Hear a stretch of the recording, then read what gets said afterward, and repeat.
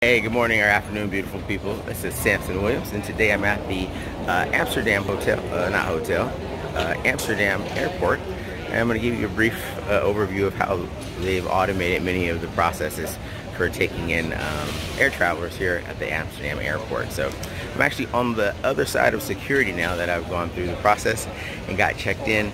And now I actually need to figure out where my gate is. So enjoy the video. See you on the other side. Bye automatically check your bag. Those people are checking bags. These machines are checking bags. And you have less humans checking bags. So it's actually quite interesting. This is at the, uh, uh, whatever, Amsterdam airport. And it just occurred to me what was happening here. And I was like, huh.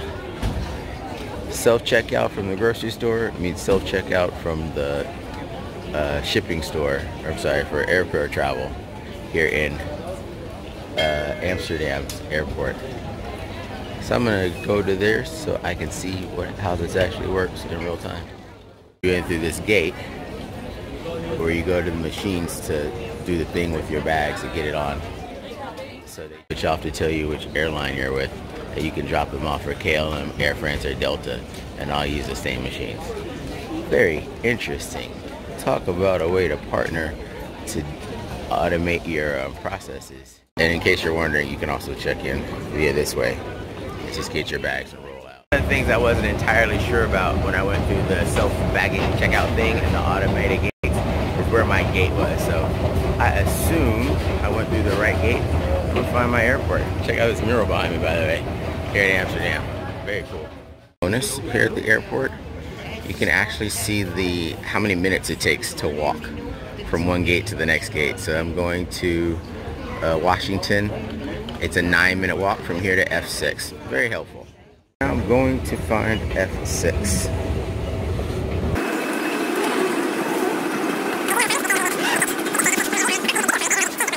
Oh no it didn't. There it goes.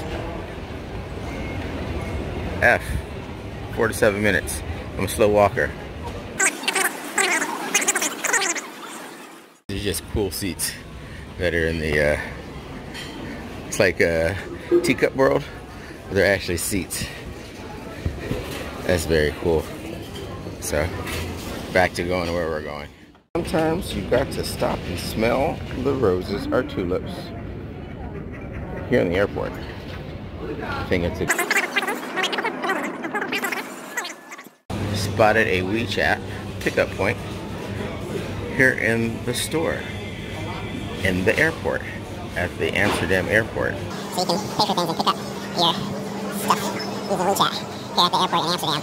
And so if you don't think WeChat is important, you're going to be really impressed when you come to Schiphol. Um, airport, and you can pay with WeChat.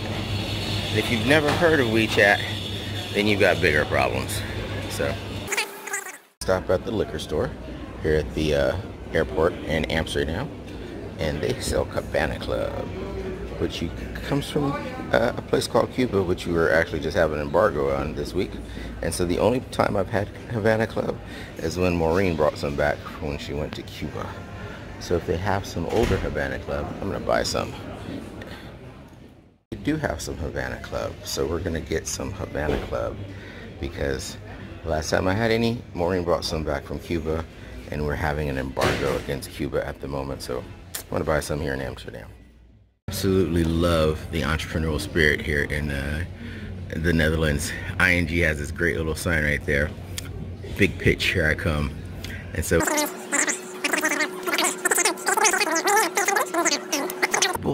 just like you. So one in a million on a planet of 7 billion it means there's just there are 7,000 people who are as eager, hungry, and ambitious as you. So keep that in mind and um, get you some mom's home cooking. So you see that upon arrival. See you guys on the other side. And here's some a peek at some of your competition here in the Netherlands. I'm signing off here from uh, the Schiphol airport here in the Netherlands, in Amsterdam. As you can see, automation is uh, at the forefront of everything they're doing here in Amsterdam. Uh, and I often say the U.S. is 10 to 15 years behind in automation, or just technology, infrastructure, investing in general. So here's the next time you go to the airport, just say, is it as easy and convenient as the airport here in Amsterdam? Uh, also with automation comes, what do we do with the people who we've automated their jobs? So we talk about the future of everything. We're really talking about the future of automation figuring out what to do with the humans. So that's a conversation for a later date. Thanks for listening. Thanks for watching. See you on the flip side. See you back in DC, New York, etc. And uh, thanks for sharing. Peace.